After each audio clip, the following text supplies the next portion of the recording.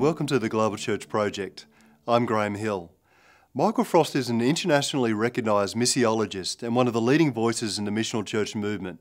His books are required reading in colleges and seminaries around the world, and he's a much sought after international conference speaker. He's a church planter and college professor and the founder of the Forge Mission Training Network with Alan Hirsch. Michael Frost is author and editor of numerous books. Many of these have received wide acclaim. He co authored the highly successful and award winning The Shaping of Things to Come. Michael Frost explores a missional framework for the church and discipleship in a postmodern, post Christendom era. Michael Frost, welcome to Being Missional. You've written that we've de-fleshed the human experience. What do you mean by that?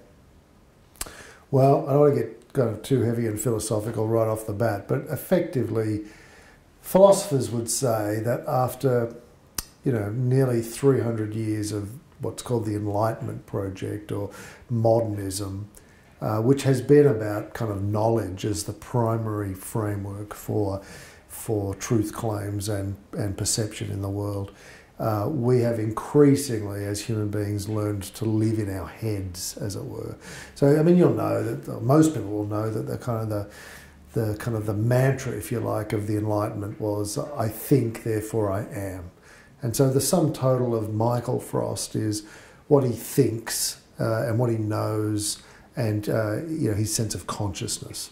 Um, and so therefore those sorts of things that we used to know in our bodies and those things that we used to hold as truth collectively, our sense of connection to our environment, uh, those things are increasingly lost. So knowledge now almost entirely uh, resides in, in thinking processes, which has meant that we've become increasingly defleshed, uh, as I say. So, you know, your dad used to know it was going to rain because his bunions were playing up, hmm. or your mum used to know how to cook not because she, she read a recipe, because she she'd taste stuff. It was a handful of this and a pinch of that. That was embodied knowledge. That we knew things in our, our fingertips, our taste buds. Uh, uh, that's increasingly rare, uh, particularly in the West. So I'm saying this defleshing process means this withdrawal into the processes of thinking, and then when you add the internet to that, it's as if knowledge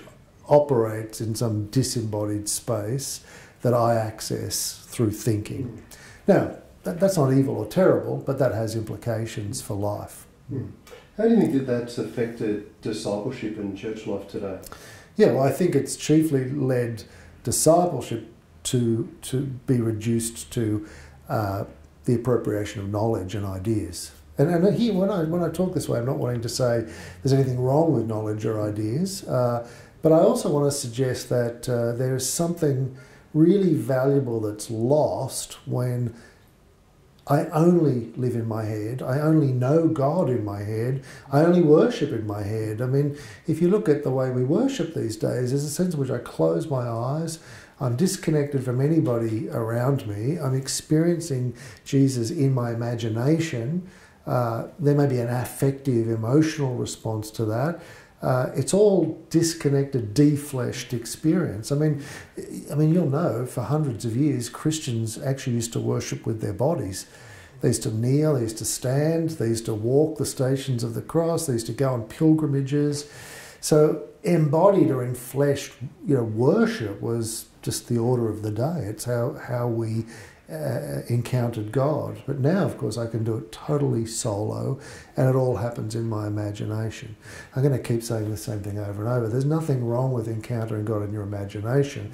My only concern is that if that's the only place we encounter Him, we lose touch with what it looks like to see God, to know God, to encounter God, to represent God physically in relationship with others, in place, in the context of the world. And I think something important is lost when, when that happens. Michael Frost, thank you for joining us at Being Missional. No worries. You've just watched an abridged version of this interview. For the full interview, plus resources for churches and colleges and universities, please visit www.theglobalchurchproject.com. I look forward to your company next time. From me, goodbye.